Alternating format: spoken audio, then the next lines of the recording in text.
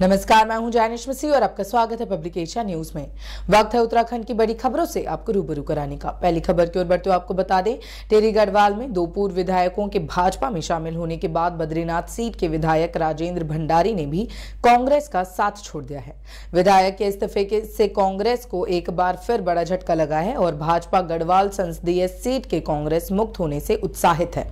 आपको बता दें, गढ़वाल सीट में चौदह विधानसभा सीटों में से बद्रीनाथ ही अकेली कांग्रेस के पास थी। वहीं आगे बढ़ते हुए आपको बता दें, हरबटपुर विकास नगर से होकर गुजरने वाले दिल्ली यमुनोत्री नेशनल हाईवे पर अतिक्रमण की परेशानी दिन ब दिन बढ़ती ही जा रही है। रोड पर वाहनों की आवाजाही ज़्यादा होने की वजह से अतिक्रमण क्षेत्र में दुर्घटना की आशंका हमेशा बनी रहती है। इसके देखते हुए हिंदू जन जागृति संगठन ने अतिक्रमण पर कार्यवाही की मांग उप जिलाधिकारी से की है। आपको बता दें, दिल्ली यमुनोत्री नेशनल हाईवे, हरबटपुर और विकास नगर शहर के बाज़ार के साथ शहर के बाहरी क्षेत्र से होकर होकर गुजरता है।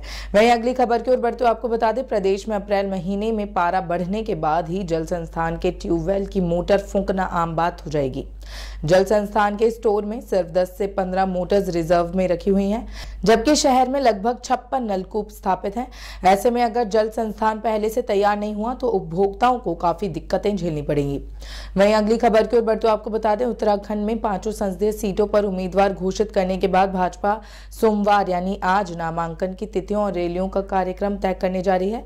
भाजपा प्रदेश अध्यक्ष महेंद्र भट्ट की अध्यक्षता में होने वाली बैठक में गढ़वाल प्रत्याशी अनिल बलूनी, हरिद्वार हरिद्वार प्रत्याशी त्रिवेंद्र सिंह रावत टिहरी की माला राज्य लक्ष्मी शाह अल्मोड़ा के अजय टमटा और नैनीताल उधम सिंह नगर के अजय भट्ट शामिल हैं।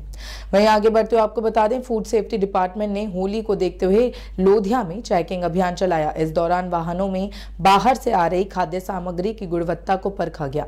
खाद्य सुरक्षा अधिकारी नंद किशोर ने बताया कि बाहर से ज़िले में दूध, दही, पनीर, मिठाई, नमकीन समेत कई खाने का सामान लाया जा रहा था। इसकी गुणवत्ता को परखने के लिए पंद्रह सैंपल भरे गए इन्हें जाँच के लिए रुद्रपुर लैब भेजा गया और कहा कि खाद्य सामग्री में मिलावट नहीं की जाएगी। मानकों पर खरा नहीं उतरने पर संबंधित के खिलाफ कार्यवाही की जाएगी। कहा कि चेकिंग अभियान जारी रहेगा।